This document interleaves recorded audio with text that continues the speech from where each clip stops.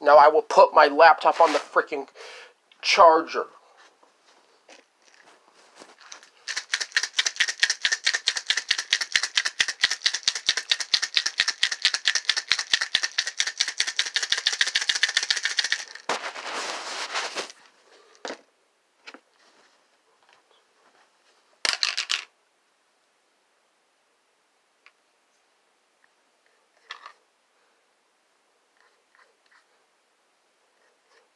I'm the computer master.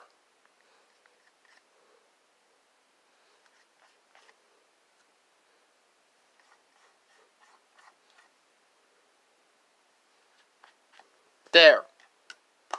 All good.